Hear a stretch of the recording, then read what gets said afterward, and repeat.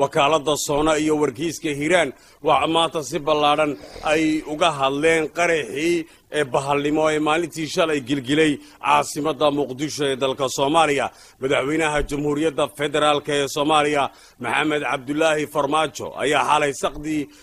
saqbartii waxa uu ka hadlay in qaraxaasi bahalnimo ee gilgilay caasimadda muqdisho. Madaxweyne farmaajo horta waxa uu sheegay in saddex maalmood oo baroordiiqa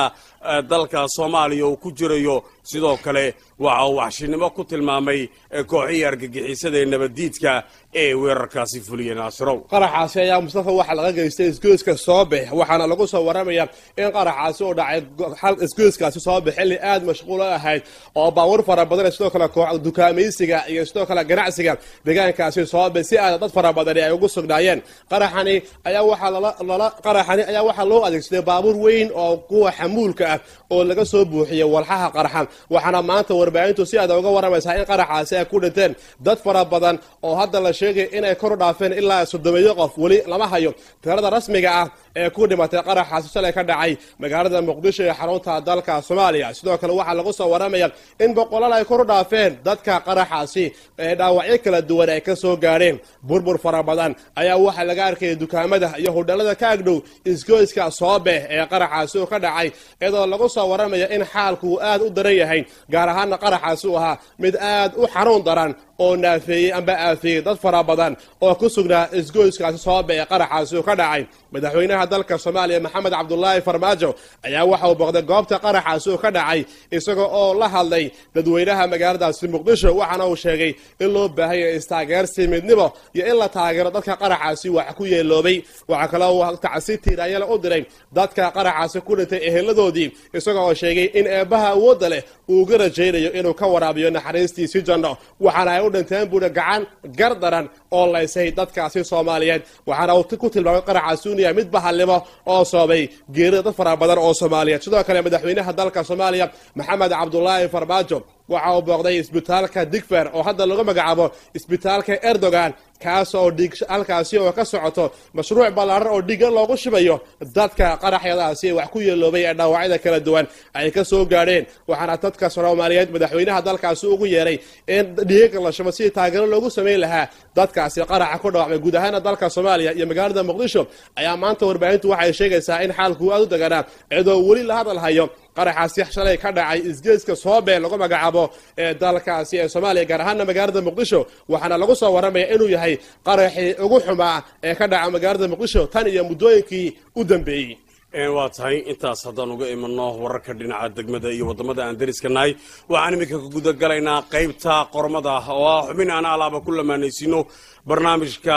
war iyo waano. Waxaana qormada maanta isagu noo soo diyaariyey oo noo haya weriye naasir cumar. Naasir qormadu maxay ku saabsan tahay? Ka hadlaysaa. Mustafa qormadan waxay tahay midaan kaga hadlayno mashruuca mataanaysiinta gobolka carta iyo magaalada harar ee dalkaasi etoobiya jamhuuriyadda jabuuti iyo dalka etoobiya waxay wadaagaan iskaashi wanaagsan oo ku aadan xagga dhaqaalaha ganacsiga xagga bulsho balse waxaa hadda qaar ka mid ah brifeyada iyo sidoo kale mas'uuliyiinta gobollada dalka gudihiisu ay bilaabeen inay sameeyaan mashaariic laiskugu soo dhaweynayo gobollada dalka gudihiisa iyo sidoo kale magaalooyinka taariikhiga ah ee dalkaasi etoobiya carta iyo harar maxaa ka dhexeeya waa barnaamijka maanta wari waano qormadiisa gaarka ah.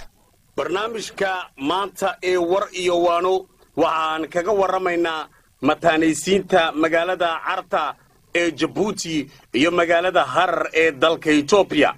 magaalada carta ee jamhuuriyadda jabuuti iyo magaalada harar ee dalka etoobiya ayaa ka siman wax badan waxaana ka mid ah in labada magaalo ay yihiin buuraley ku wanaagsan dhinaca dalxiiska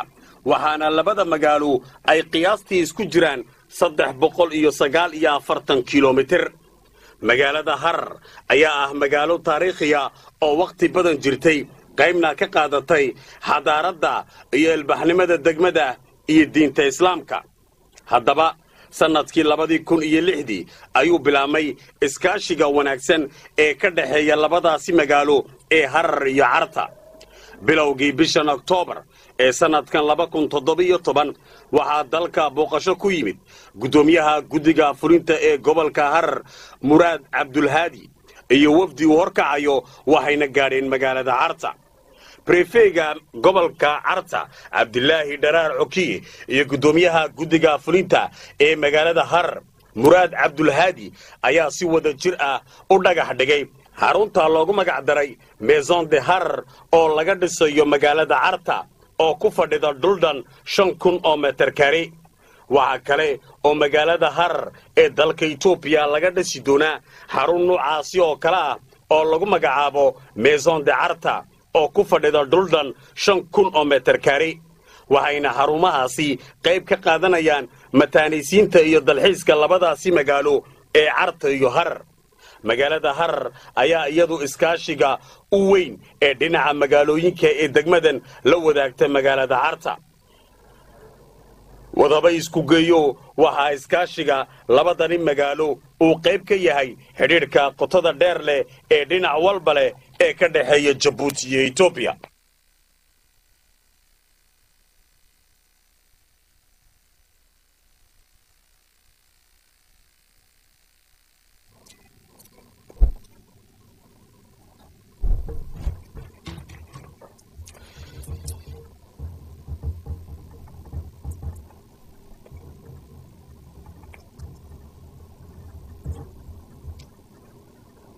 waa tahay waa qormadaas aadka u ballaadhan ee aan ka soo diyaarinay mataanaysiinta labadaasi magaalo ee carta iyo harar. Naasrow waxaa xusid mudan sidaan qormadaba ku arkaynay iyadoo ogsoonahay in magaalada harar ay tahay magaalo qadiimiya oo taariikhiya oo leh iyadu ilaa iyo wakhtigana la dalxiistayaal fara badan ay ku soo hurtaan. Dhinaca kalena magaalada carta ay tahay magaalo iyadna ay dalxiistayaal fara badan yimaadiin oo aan arkaynay in ay leedahay baddaasi khayraadka fara badan laga helo oo sidii aan qormooyin horeba ku soo sheegnay. Rikan palent oo adduunyadaba aan badi laga arkin ay ku nooshahay iyo sidoo kale in labada magaaloba ay yihiin laba magaalo oo buuraleeya iskaashi ayaa ka dhex bilaabmay tan iyo labadii kun iyo lixdii bishan oktoobarna. Waxay miday guddoomiyahaasi guddiga fulinta muraad cabdulhaadi sidaan ogsoonahay waana mustafa mashaariicdaasi xagga dalka loogu talagalay ee ka dhexeynaya jabuuti iyo etoobiya ayay qayb ka tahay. Waxaa khadka telefoonka si toosa ugu jira waa cilmi buux gudcadde oo ah guddoomiyaha maamul goboleedka carta waxaan ka wareysanaynaa mashruucani mataanaysiinta gobolka carta iyo sidoo kale magaalada harar magaaladaasi qadiimiga ah ee dalka etoobiya cilmi buux maqashaa habeen wanaagsan. Si fiican baan kuu noqaa. Habeen wanaagsan ku soo dhawo barnaamijka waryawaano marxaba walaalahay cilmi buux waxaad inooga warantaa maxaa ay tahay ujeedka iyo ahamiyadda mataanaysiinta gobolkaasi carta iyo magaalada harar ee dalkaasi etoobiya waad mahadsan tahay laba horeyse waxay tahay masaamiintan maaragtay jimilaashka loo yaqaano waxaan bilownay ahayd laba kun iyo lixdii hay. Miliga rafeegi markaa joogay xasan dalaad baa heshiishaha lahaa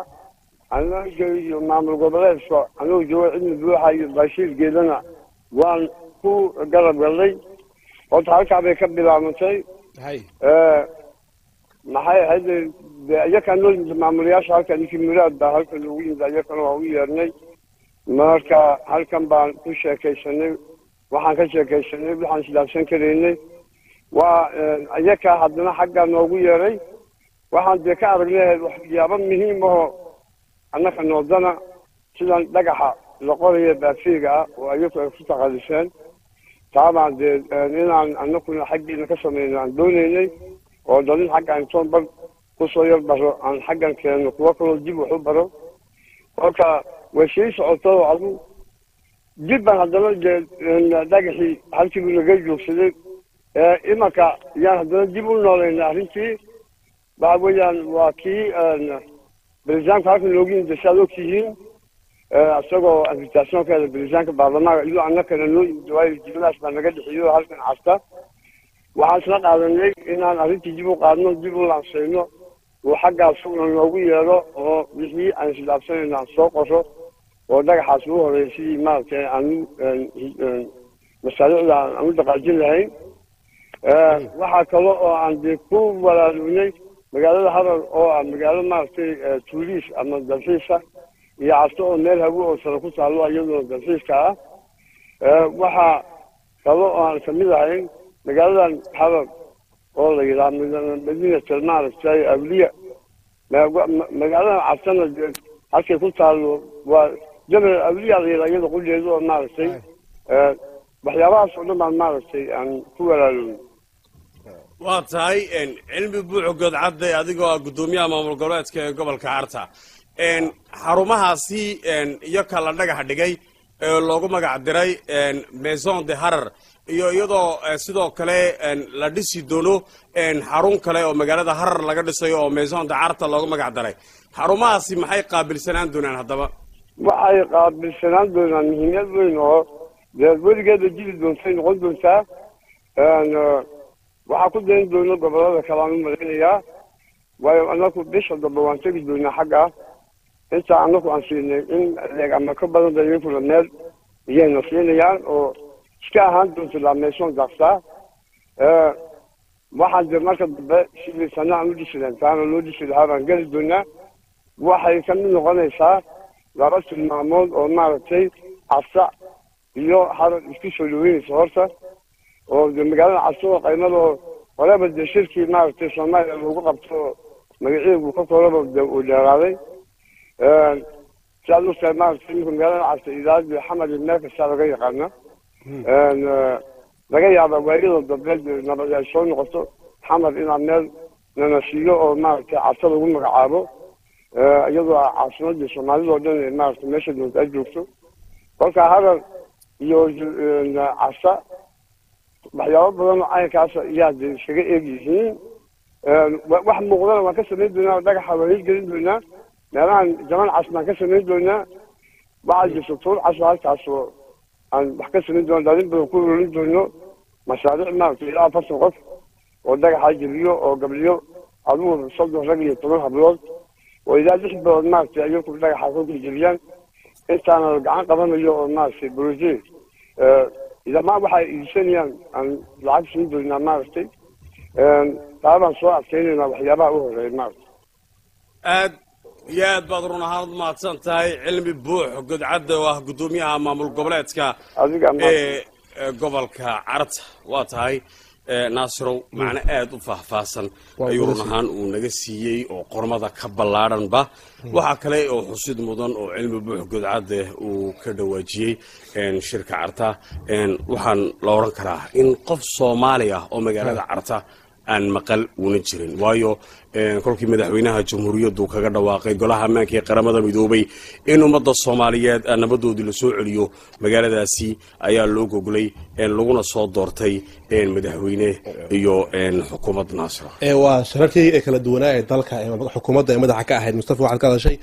lagu talagalay nabadeynta iyo sidoo kale taageerada jabuuti ee u fidinaysa dalka soomaaliya. Qormadu waxay ahayd harar iyo carta maxaa ka dhexeeya? Magaalada harar waxay tahay magaalo qadiimiya oo taariikhiya cartan waxay tahay magaalo taariikhiya oo waxay martigelisay shirkii nabadeed ee dalkaasi soomaaliya oo madaxweyne geelle uu hormuudka ka ahaa. Amuurahaasi oo dhan taariikhda labadaas magaalo ay wadaagaan ayaa waxay tahay mid ay isla garteen maamulada labada magaalo in ay joogteeyaan xiriirka ku aadan harar iyo magaaladaasi. Carta iyadoo xagga cimilada xagga deegaanka iyo xagga dalxiiskaba ay yihiin magaalooyin ku wanaagsan in la xoojiyo oo la dardargeliyo waaxdaasi dalxiiska. Magaalada harar ayaa waxaa lagu sheegaa in dad fara badan oo dalxiisayaal ajaanib ah oo u badan dadka reer galbeedku inay gaadhaan sidii ay u erki lahaayeen amba uga faa'iidaysan lahaayeen inay la kulmaan goobaha qadiimiga ee taariikhiga ah ee magaaladaasi ay leedahay iyadoo ah magaaladani mid soo martay xadaaradihii kala duwanaa ee ka soo arrimiyey geeskani africa waana magaalo taariikhiya balse carta ayaa waxay taarikhda ku gashay shirkii cartaad bay taarikhda iyaduna ku gashay. Intaas oo dhan waxay keentay in la xoojiyo iskaashiga wanaagsan ee ka dhexaynaya magaalooyinka dalka iyo magaalooyinka dalkaasi etoobiya iyadoo intuba ay ku taagan yihiin siyaasadda madaxweynaha jamhuuriyadda ee ku aadan xoojinta iskaashiga aanu la wadaagno dalka aanu dariska nahay ee etoobiya waa tahay guud ahaan intaas baa ugu dambaysay barnaamijkeenii wariyo waano waxaan mar kasta u mahadnaqaynaa farsamo yaqaaninta tirada badan leh ee sida habboon uga qayb qaadata habsami ubixidda barnaamijka.